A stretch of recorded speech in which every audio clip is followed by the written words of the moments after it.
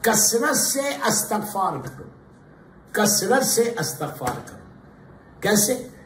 आप इंग्लिश में बोले, अल्लाह sorry I am sorry I am sorry I am sorry आप गाड़ी ड्राइव कर रहे हैं वॉक पे जा रहे हैं, चल रहे फिर रहे बैठ रहे आप इतना बोलते जाओ, अल्लाह I am sorry I am sorry मालिक, तुम मुझे माफ़ कर दे, मुझे माफ़ ये तरीका मासूमीन ने बताया। सिर्फ़ मासूमीन ने बोला नहीं, सिर्फ़ मासूमीन ने यह नहीं कहा कि तुम अस्तफार करो, खुद अस्तफार करके बताया। खुद सॉरी बोल के बताया जबकि किसी मासूम को ज़रूरत नहीं थी सॉरी बोलने की। वो इतने पायस बंदे। अरे जिनका नाम हमारे कफन पे आ जाए तो मेरे गुना माफ़ हो जाए। जिनका नाम हमारे कफन पे आ जाए तो हमारे गुना माफ़ हो जाए। आपके सामने सिलसिला तो जहब है। दुआए सिलसिला तो जहब आठवें माह वाली दुआ नेशापुर वाली दुआ। मैंने अहल बच्चनी की जो शब जुमा की रात की मजलिस उसने बोला है। लेकिन अभी स्टिल बोल रहा हूँ, ये मजलिस में। कि अगर आपको वो दुआ चाहिए तो मुझे व्हाट्सअप करो, मैं भेज दूँगा। वो दुआ कपड़े में लिखवा के अपने कफन में रख लो। अपने कफन में रख लो। जो कफन करवाया मौला से लाए हो अल्लाह हमको ज्यारत नसीब करे। करवाया मौला के कफन में ये सिलसिला तो जहब वाली दुआ रख लो। बहुत छोटी सी दुआ है। ये वो दुआ है कि अगर तुम्हारे कफन में रहेगी तो अल्लाह का अजाब उस लहर में नहीं आएगा कि जहाँ पे सिलसिला तो जहब वाली दुआ जिसको गोल्डन चेन वाली दुआ बोलते हैं ये हर इंसान अपने पास रखना चाहिए।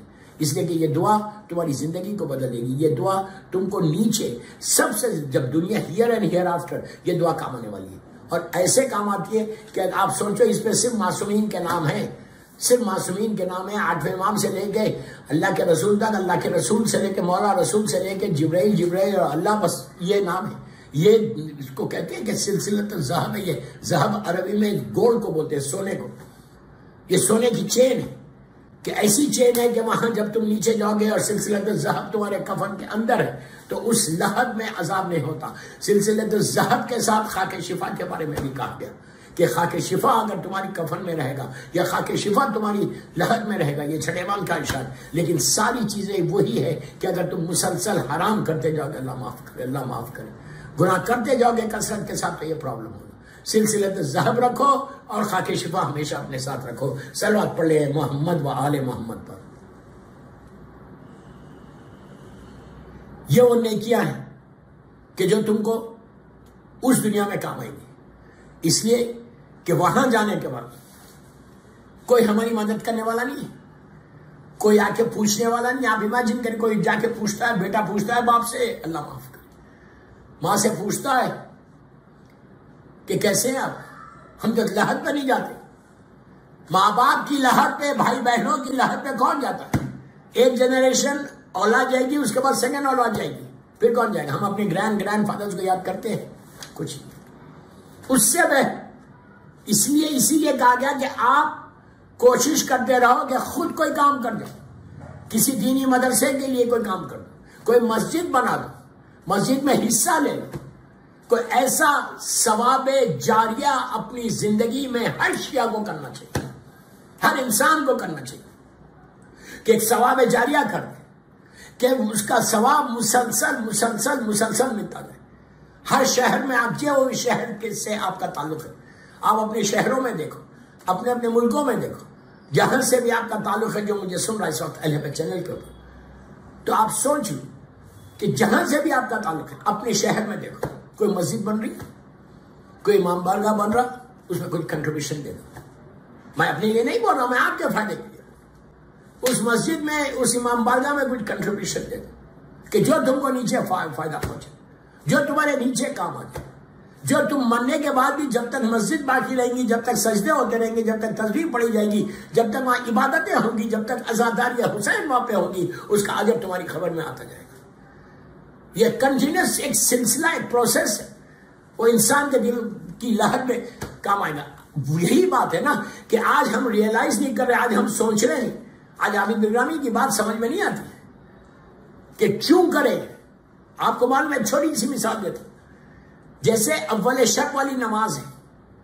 एक आयतल कुर्सी और दस इनाम जाना सबको पता है कि जब कोई इंसान मर जाता है तो वो दो रकत नमाज़ पढ़ते हैं। ये नमाज़ का नाम है, नमाज़ है, वहशत खबर, सबको पता है। पहली रगत में आयतल कुर्सी है, दूसरी रगत में दस मरतबा सूर्य इनाम है। एक शर्त ये नमाज़ रोज भी पढ़ सकते हैं। ये ये ज़रूरी नहीं है कि कोई मर जाए तो आप पढ़ेंगे, आप रोज पढ़ सकते ये नियत करके पढ़ सकते सिर्फ़ नियत गौर से सुन। आपकी नियत ये होनी चाहिए कि अगर दुनिया में किसी की आज पहली रात है मौला के चाहने वाले मौला के चाहने वाले अगर पहली रात तो उसको इसका सवाब पहुँचे तो पूरी दुनिया में किसी ना किसी की तो पहली रात होगी। मिसाल के तौर पर मिसाल दे रहे एक हज़ार आदमी की और आपने आज जो नमाज़ पढ़ी, इस नियत के साथ कि पूरी दुनिया में मौला का चाहने वाला जहाँ भी है, जिसकी भी आज पहली रात है, उसके लिए मैं ये नमाज़ पढ़ दो रकत नमाज़ की नियत करो और पहली रकत में अलहम और कुर्सी, दूसरी रकत में अलहम दस नाजल। पढ़। और पढ़ के दुआ करो कि परवरदिगार, इस नमाज़ का सवाब उन सारे मोमिन मोमिनात को दे दे कि जिसकी आज पहली रात है। आप इमेजिन करें। आप किसी को नहीं जानते। प्लीज़ मेरी तरफ़ देखो। लुक एट आप किसी को नहीं जानते। आप अपने शहर में और दूसरे शहरों में कोई मोमिन का इंतकाल कर। उसकी पहली रात है। वो अपनी लहर में अंधेरे में लेटा हुआ है। और तुमने यहाँ लंदन में नमाज़ पढ़ी है। और ये नमाज़ का सवाब जाता कैसा? नूर का तश्त लेकर। नूर का तश्त लेकर फरिश्ते उसकी लहर में जाते दोस्तों, पहली रात की हम यह क्या करते नमाज़ की नमाज़ है वहशत है कबर। वहशत है? हम खुद ऐलान कर रहे हम ये ऐलान करें कि नीचे वहशत है। उस वहशत को दूर करने वाली नमाज़, उस उस तकलीफ़ को दूर करने वाली नमाज़, उस अंधेरे को खत्म करने वाली नमाज़, जो इंसान अकेला पड़ा हुआ है। बड़े घर से आया है, औलाद को छोड़ के आया है, बीवी बच्चों को छोड़ के आया, भाई बहनों को छोड़ के आया, खानदान को छोड़ के आया। अकेला ऑल अलोन कोई लाइट नहीं, कोई चिराग नहीं, कोई बिस्तर नहीं है, कोई एयर कंडीशन नहीं। अल्लाह माफ़ करे, अल्लाह माफ़ करे। गर्मी में पड़ा हुआ है। आप इमेजिन करो, गर्मी में अंधेरे में पड़ा हुआ है। फरिश्ते नूर का तश्त लेकर जब आते हैं तो उसकी लहत उसकी ग्रेव रोशन हो जाती, ब्राइट हो जाती, रहमत आ जाती।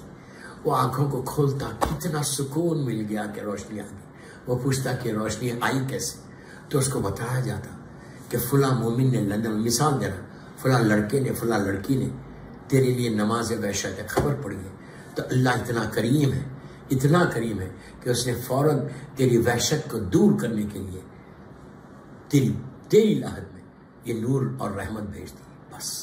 वो मुर्दा हाथों को उठा के नीचे से दुआ देता उसको बताया भी जाता कि फुला शख्स ने तेरे लिए नमाज़ पढ़ी। एक हज़ार आदमी के लिए, एक हज़ार आदमी की अगर पहली रात है और आपने नमाज़ पढ़ ली, वहशत खबर की और उनको सवाब पहुँचा तो वो एक हज़ार आदमी, एक हज़ार मोमिन मोमिनात आपके हक में दुआ देंगे कि परवरदिगार, इस मोमिन के ने हमारी वहशत को दूर किया। ये हमको जानता नहीं था, ये हमको पहचानता नहीं था। ये हमारा रिश्तेदार नहीं था, लेकिन मोमिन था। उसने हमारी वहशत को दूर किया तू इसकी वहशत को दूर कर। इतना सवाब है इस नमाज़ का। और इसके साथ सदका।